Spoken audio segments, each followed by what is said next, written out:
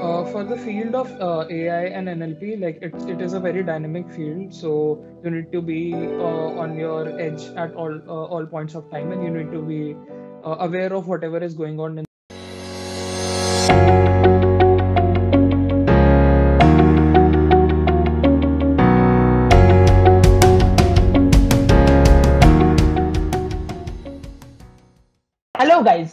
Welcome to the second podcast in a series of off-campus internships. So today we have with us is Mr. Chinmay Singh. He is a final year undergraduate at IIT Kharagpur and he received a full-time opportunity with McKinsey and Company and a pre-placement offer from Apple. In this podcast, he'll be sharing how he bagged an off-campus internship with Apple California office. So hello, Chinmay. Welcome. Hi everyone, uh, thank you for having me. So, besides what Jalaj already introduced me with, I would like to say that I'm a final year in the Department of Chemical Engineering. I have been interested in data analytics, machine learning, and in specific NLP since the start of my sophomore year at IIT Kharagpur. And I have got support from the various faculties as well as my seniors, seniors at IIT Kharagpur, and I've been able to pursue my interests. Besides Apple, I have also pursued internships with IBM and CERN and as well as a, a research tenure at IIT Bombay as a student researcher. And uh, besides all of this, I'm also really interested in business and entrepreneurship. And my other engagement in campus includes uh, at Business Club as the analytics head. So yeah, that's pretty much about me. I come from Delhi. Okay. So yeah. So let's move to the basic question. Like, how did you manage uh, chemical engineering and your interest in AI? So uh, how did you pursue both of them? So at IIT Kharagpur, chemical engineering is usually considered a branch which gives you freedom to explore other options. I found this very true uh, in my sophomore year. Uh, although the curriculum of chemical engineering does not overlap much with artificial intelligence or anything that uh, is of my interest uh, professionally, but uh, I was able because of the flexible curriculum of the university and uh, the additionals and elective courses, I was able to take most of the courses of my interest. Besides that, the amount of knowledge present today online and on different sources like Coursera, Medium, etc., is truly magnificent, and uh, I think it's uh, sufficient if you need to follow your interest in any sort. So yeah, I used uh, a lot of them to help me follow my interests besides all of these, obviously the seniors and my peers uh, in at college, they helped me a lot way in uh, helping me secure the resources, in guiding me towards what uh, what to do at any given point of time, and keeping me motivated. So yeah, that that is how I did. Okay.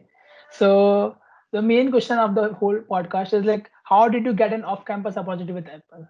Uh, what was the process all about, and uh, how how many interviews are there? And how did you even approach apple uh, cupertino office? So what was uh, the whole procedure? So uh, apple does not come for internships at iit kharagpur. And uh, as such the number of profiles in nlp that comes at kharagpur is very limited. Uh, there is barely any profile for nlp internships that comes except a few companies mm-hmm. of course. Uh, so how i discovered this internship opportunity is that i co-authored a paper with one of my seniors, uh, and this paper was published in Hong Kong at a conference called EMNLP.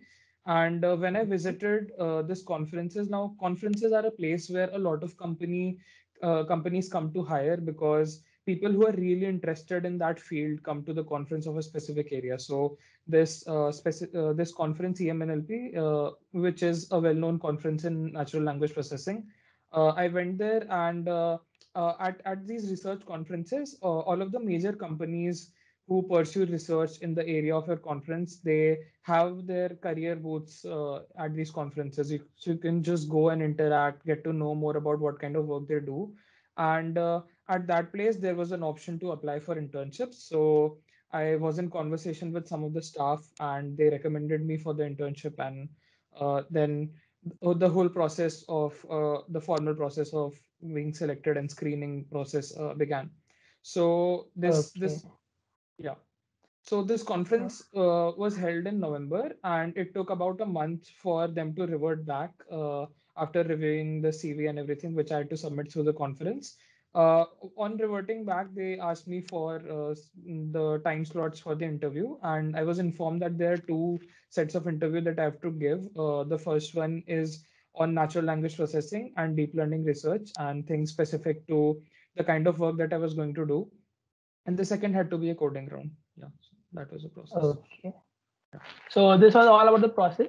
So हम start करते हैं interview round से क्या मतलब interview round में क्या क्या हुआ था कैसे questions आए थे and how did you answer them? So start with the first round first. So what was your experience in there and किस तरह के questions थे उसके अंदर? Yeah. So the thing about Apple is that uh, they try to give you an interviewer who uh, knows about what kind of experiences you have and uh, who resonates with the type of uh, ex- uh, type of work that you have done and are going to do.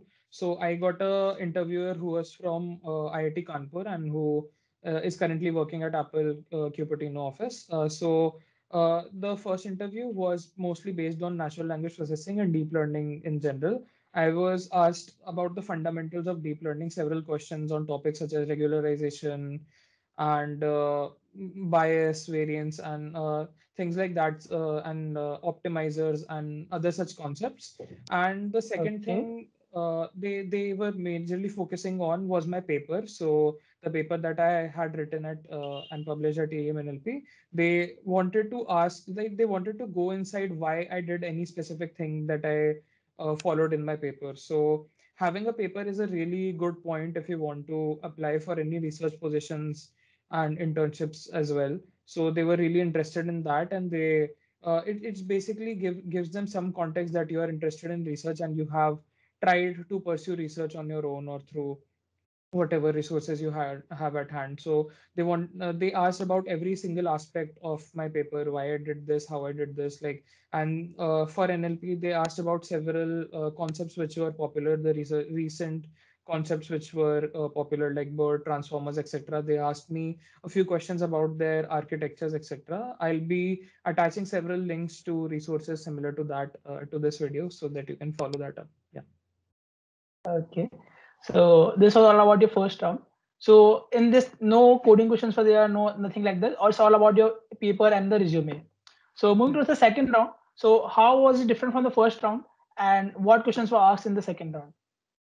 So the second round was conducted by a different interviewer. Both rounds were about 45 minutes long. And in the second round, uh, I was given a programming assignment, which was a live programming assignment. And you, there was a platform which they uh, use, uh, and uh, you have to write the code uh, and then execute it as well. So it's not uh, just pseudocode.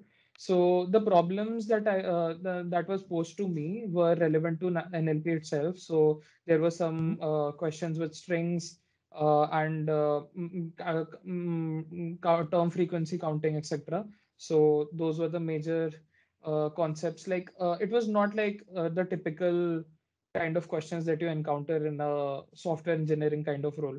So my questions were a bit different, and the language of choice was Python. Like uh, I, I did not get to choose it, like it was assigned because most of the development in deep learning uh, takes place in Python, so they expect you to know that Mm, but overall what i found is that the kind of interview and the questions that are posed to you is very team specific at apple so they shortlist you for a specific team uh, to uh, and then uh, the team basically dictates what kind of uh, concepts and what kind of skills you need to have to get shortlisted so the interview experience can vary a lot between different teams yeah. okay. Uh, insightful answer. So uh, were there any HR questions in this round? And if they were, so what kind of questions did they ask in the HR round?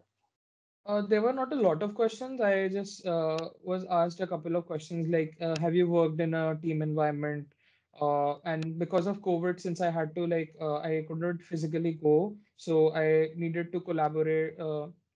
So that that was not at that point of time. So they uh, they expected me to be in California. So they asked me several questions about culture, like do you like uh, associating with different kind of people and work environment related questions. Nothing too much, just uh, about uh, teamwork and things like that. Yeah, Okay, thank you. yeah.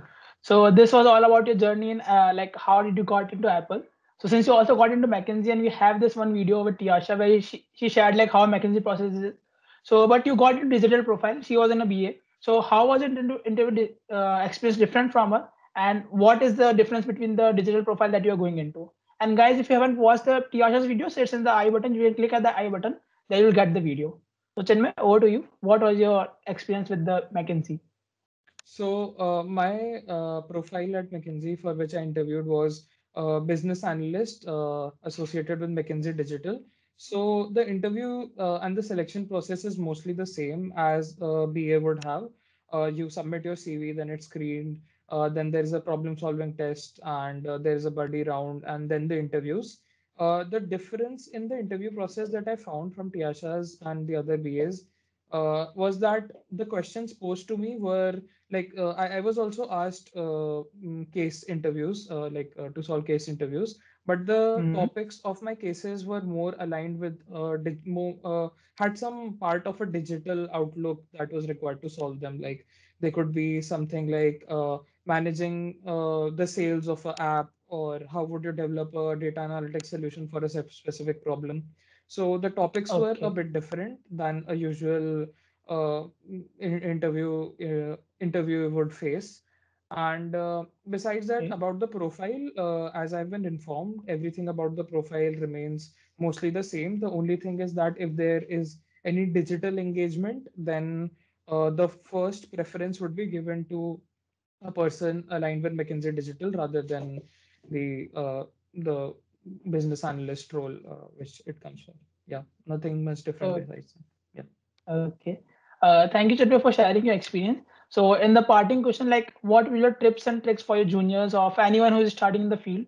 So, what will be your tips and tricks for someone?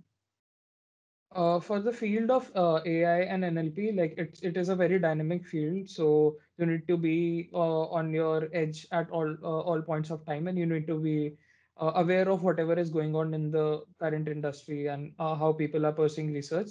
A good place to start could be uh, learning things of online courses or your college courses. But uh, after you have a basic understanding, I would recommend uh, anyone to go for some hands-on experience and uh, that hand, hands-on experience can be in development and uh, uh, if you want to go for that kind of a profile or could be in a, research project with the professor or something else and after you have like a decent enough experience uh, pursuing independent research is all, all, always a great option uh, and even if you have the supervision of someone and uh, if you happen to publish a paper that would be like really ge- uh, great in terms of uh, companies wanting to hire you and uh, things like that. And also for your master's application if you want to f- pursue further education. Yeah. Okay. And like, what what will be the like importance of the referral in the field of internships and all? What's your take on this? Like, how re- how much referrals are important, and how much is research papers are important uh, in the job profile if you are not going for the research and the normal jobs? Uh, I think for AI and uh, machine learning, most of the jobs uh, are uh, have some part of research in it, eh, except if you're working as a software developer uh, side of it completely. So having a research Mhm. paper is always good because it uh, really shows that you are capable of pursuing work in this topic and uh, like know a certain bit of uh, things about it. Uh, besides that, uh, as far as uh, companies like FAANG, etc., are considered, uh, so the thing is, mostly the applications, if they aren't without a referral or you haven't been recommended by an employee, it, it is very difficult to get your application considered. So mostly what I found through my peers and my colleagues during internship, most of which who f- uh, whom were from USA or UK, so they Mhm. told me that uh, it- it's a norm to apply with a referral and uh, cold applications without a referral usually would not get noticed in a company of scale of Apple or uh, Facebook or uh, things like that, unless there is a hiring program, which uh, unfortunately doesn't exist for IITs. Yeah. Okay. Okay, Chinmay. Thanks a lot for sharing your journey. And guys, all the things that he mentioned about the questions he mentioned about and the resources he mentioned about, the links will be provided in the description. You can visit the description and see all those things. So thank you, Chinmay, for being with us uh, and sharing your experience. Thank you very much. It was really a great experience.